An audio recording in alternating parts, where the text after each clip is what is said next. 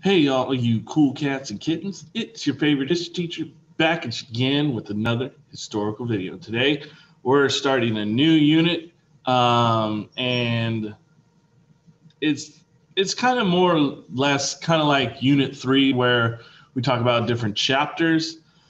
So, and we kind of combine two ideas in world history today where it's pretty important for the setup of how the 20th century, you know, 1900s, uh, flows. And so today we're the unit is titled Nationalism and Imperialism. Um, today we're going to look back at nationalism and its beginnings in Europe uh, among Germany, Italy, and Mother Russia. All right, I kind of spit. Mm-mm. Not the move. All right, let me share my screen. Okay, so uh, this is a two title note day, as as you guys recall, for how notebooks for your notebook checks should be done. Um, we are skipping chapter six and moving on to chapter seven. Um, nationalism triumphs in Europe.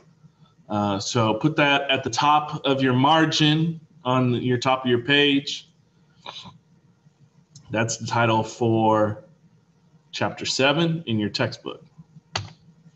Okay, but today, like I said in the beginning, uh, we are going to focus on Germany and nationalism in Germany and building a German nation, chapter seven, section one.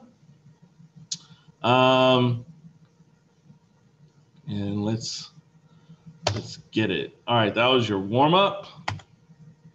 Okay, so our objectives we're going to focus on the spread of nationalism in the Germanic states, understand the policies laid forward by Bismarck to unify Germany, and follow the beginnings of the German Empire.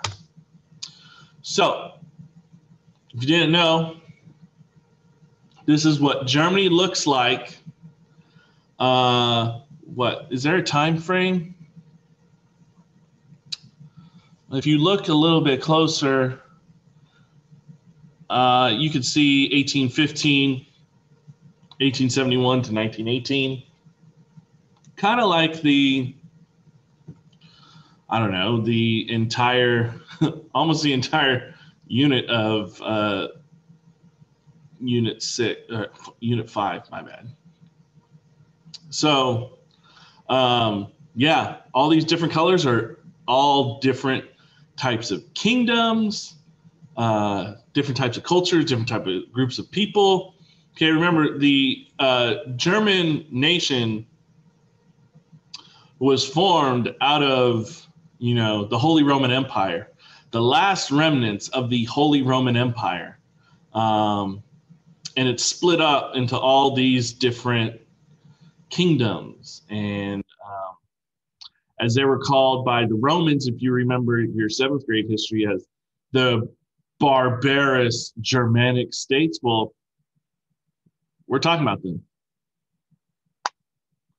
All right so napoleon's footprints. So uh, napoleon made territorial changes in german speaking lands if, as you recall, he annexed line, land, lands along the Rhine River for France. He dissolved the Holy Roman Empire and forced the emperor of the Austrian Empire to be called king, not emperor. And he organized a number of German states in what he called the Rhine Confederation. Remember that little buffer state uh, between France and Germany. Um, so Napoleon's defeat didn't make things easier in um, across Europe. So the Congress of Vienna, remember the people that wanted to keep, you know, the monarchy intact and keep France weak. Our boy uh, Metternich pointed out that in order to unite Germany, you it was required to dismantle each Germanic state's government, and you know people don't like change. no one likes change. And uh, I don't think they would agree to having one person who's not even from their country say, in order for you guys to unite as one, you can't be king, you can't be prince, you can't be princess, you lose all your titles, you lose all your incomes. You think people are going to say yes to that? Probably not. However, leaders at the Congress of Vienna also created the German Confederation, which was led by, you guessed it, Austria. You know why? Because von Metternich is Austrian. Unity. Um, so Prussia, is this the next slide? Yeah. Prussia, which you, as you recall, is right here, this little pink stuff. Prussia does not exist anymore. Back then, Prussia created an economic union called the Zollverein. Um, and this is on your test. Um, and it, what it was, what it was trying to do is dismantle tariff barriers between the many Germanic states. If you look at all these colors, okay, if you want to sell something from Württemberg all the way to Brandenburg, um, you got to cross all these territories that will charge you different prices for travel. And uh, if you want to trade from, let's say, Stuttgart to Berlin, um, whatever it costs here is going to be either cheaper or more expensive in Berlin. And you don't recall what a tariff is, a tariff is a tax uh, between imports and exports. Basically, they're importing and exporting in their own country or in their own region for their own people. Right? It's kind of like it's kind of like the 13 colonies in a way where they were making their they printed their own money. Each colony had their different it's it's kind of similar to that. Uh, however, through the Zollverein, Germany still remained politically fragmented. In 1848, hey, remember that year? Uh, liberals met and demanded German political unity and the throne was offered to King William IV of Prussia. And as you recall from our reading of 1848, he refused the throne because he called, uh, he said that the uh, German, these liberals that met at the, what was it, the, oh, let me see if I can find the city. Is it on here? Um, not the Munich conference. It was something conference. The Frank was it the Frankfurt something com, Frankfurt convention or whatever something, and uh, he said, "No." Sticking his nose. That's me sticking my nose up. He said, "No, I don't want the throne because the German princes aren't offering me it. It's coming from the what? The gutter. You're right. He's calling the liberals, the German, you know, politicians from the gutter. Um, so he refused it. Uh, this is if you guys don't know who uh, David Chappelle is, uh, this Unity. Um, again, this is Mr. Ovalle going off on a tangent. Uh, when I think Unity, uh, I think of Dave Chappelle. You don't know who Dave Chappelle is, he's kind of like uh, back in the day, Key and Peele, you know, doing different skits. And, uh, you know, if you want to watch it, you can watch it. Uh, if you don't want to watch it, you don't have to watch it. I'm not going to show it because why would I show a video on YouTube when I'm posting this video to YouTube? Anyways, um, enter stage left, Otto von Bismarck, our, our guy. So Bismarck came from Prussia's Junker class. Uh, say that out loud with me. Junker, okay, not Junker, Junker. It's actually even spelled out how you pronounce it in your book, which was made up of conservative landowning nobles. Uh, he first served Prussia as a diplomat in Russia and in France. In 1862, King Willie the First made him prime minister. And if you know anything about governments, um, prime minister is kind of like right hand man, the second in charge. Uh, within a decade, he will rise to the position of chancellor, which is another step up, which is again, you're just the right hand man to the king. Uh, and he used a policy called blood and iron, iron and blood, blood and iron, um, to unite the German states under Prussian rule. This is a test question. Uh, and so we're going to look at his policies of blood and iron. Um, sounds pretty gruesome, right? Right. That's our boy Otto von Bismarck. Um, with the uh, looking like walrus with that mustache. There's another picture of him. Why do I have two pictures? That's weird. Maybe I meant to delete this picture and show he's more of a, you know. Oh, this is kind of when he was prime minister, and I think this is when he was chancellor. Get used to those pointy hats. All right. If you know um, some Metallica, Master, Master. Uh, you can just write master. It doesn't matter.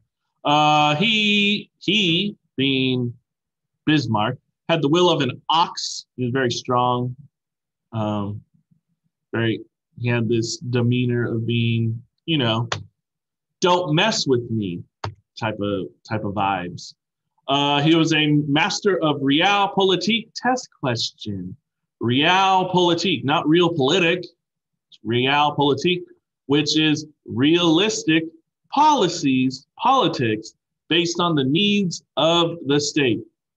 In this case, Bismarck's realpolitik power was more important than principles. So you're gonna you're gonna cut some corners in order to maintain your power than being, you know, in the right or in the wrong.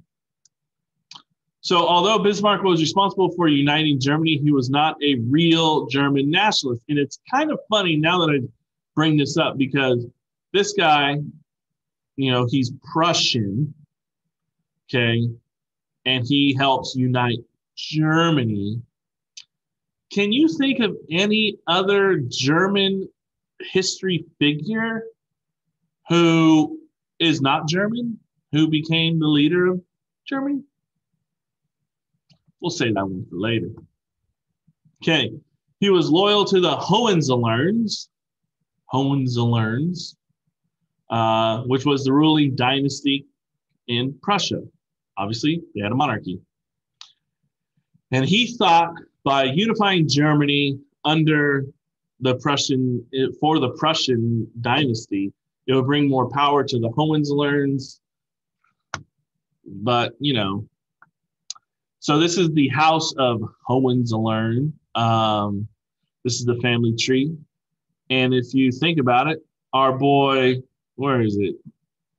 Frederick Willie the Fourth, Mr. I'm too good for the gutter. Um, his brother, William, becomes the German emperor, 1871. Right?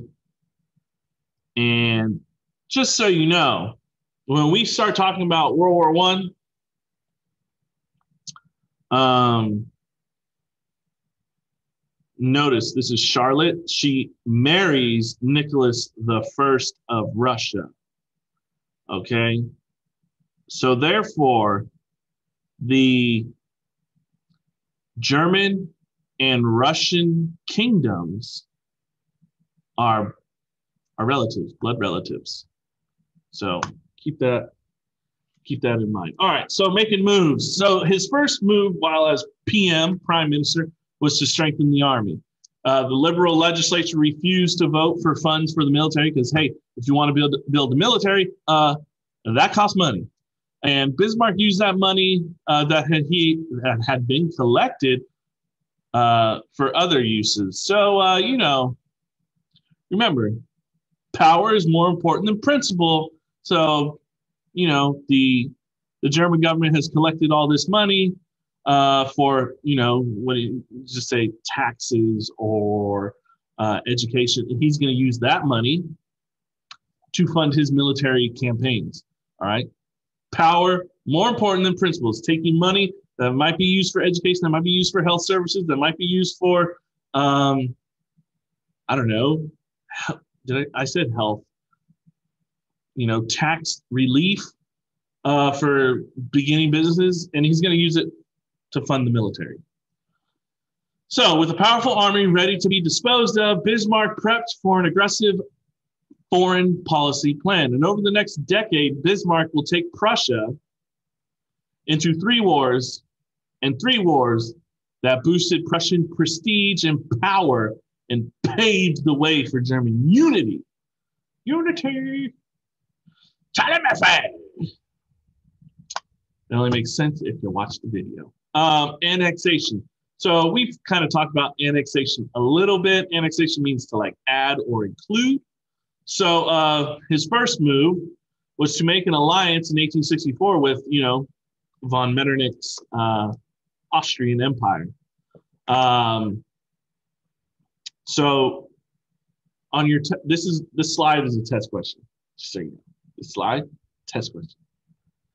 Uh, again, I'm pointing at the screen here. Um, so, you know, on the last slide I said three wars. So that is a test question. What were the three wars that Bismarck took Prussia to and describe them, name them, and explain them? Um, so Prussia and Austria then seized the provinces of Schleswig and Holstein from Denmark. So what do you think the uh, first war is? It's uh, I think it's called the Second Schleswig War. After the brief war, they divided up the spoils, the spoils of war, winning. Uh, Holstein went to Austria, Schleswig to Schleswig. I don't, if if I'm pronouncing that wrong, Schleswig to Prussia. If you don't know, Denmark is north of Germany. So in 1866, Bismarck made up an excuse to invade Austria. And this is called the Austro Prussian War. And it lasted a measly seven weeks. And it ended with Prussia on top. Prussia annexed more provinces uh, in the northern Germanic states. And Bismarck then dissolved the Austrian led Prussian Confederation, created a new confederation with uh, Prussia in charge. So now that is what you know he thought would bring more prestige to the Hohenzollern family. So that's two wars. Look at that. Look at that picture. Look at that mustache. Don't mess with me. All right, so France France wants a taste. You know, uh, after hearing news of a Prussian victory, Napoleon III, well, Louis, well, that's not Napoleon. Is that Louis Napoleon? Yeah, I think that's Louis Napoleon. Uh, you know, crowns himself Napoleon III. The leader of France was angered. Remember, Germany is here, France is here on a map. I don't know if that works out correctly. Basically, you know, they're next door neighbors. Um, and he was angry.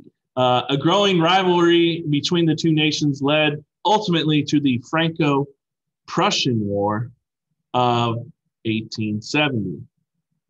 And Germans remembered about Napoleon's invasion some 60 odd years before, so they was ready. Uh, and Bismarck is going to uh, provide some propaganda of uh, the French menace to spur on, uh, you know, yeah, you know, that's what they're like. What what is that?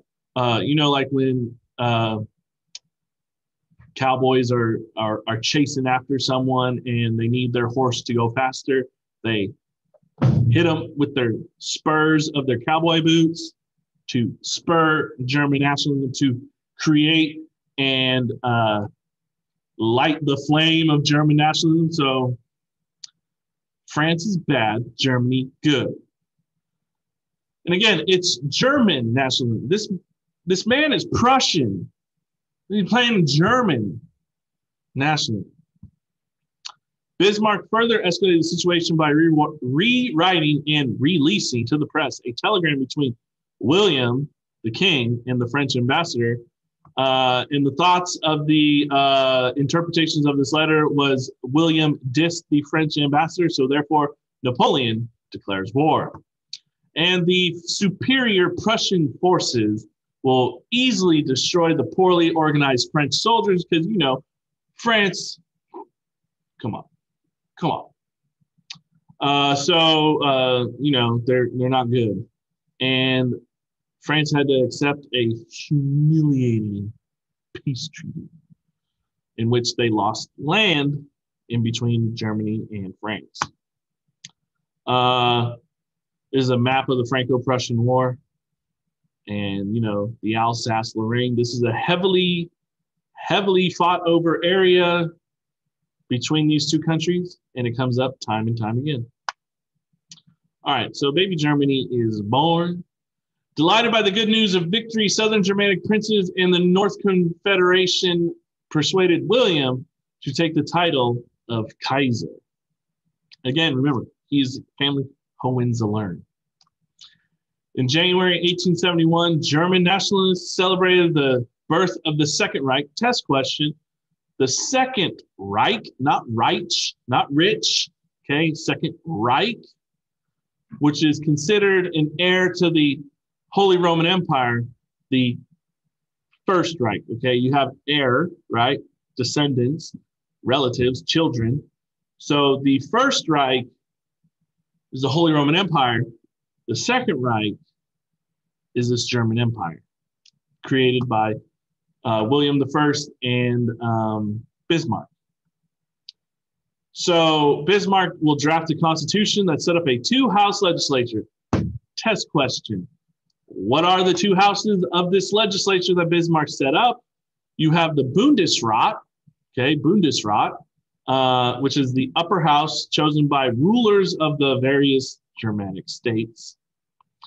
And then you have the Reichstag, okay, Reichstag, not Reichstag, Reichstag, okay, Reichstag, which is the lower house elected by universal male suffrage. Now, if you want to call that and compare that to American politics, American, you know, uh, representation of Congress, you can think of the Reichstag as the House of Representatives, and you can think of the Bundesrat as the Senate.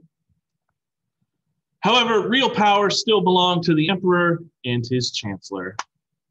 And boom, we are done. We are done. We are done. We are done. Okay. Um, hopefully, you did enjoy that uh, little lecture on chapter seven, section one. Um, quick, simple, easy, and um, fast. uh, but anywho, hopefully you guys did enjoy. Uh, your homework is page 251, 3 through 5. Page 251, 3 through 5. Um, and yeah, hopefully you guys did enjoy. As always, stay safe, wash your hands. Peace.